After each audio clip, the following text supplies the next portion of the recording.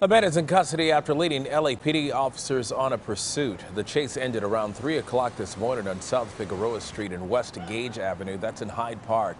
Police say the suspect was armed. No injuries were reported.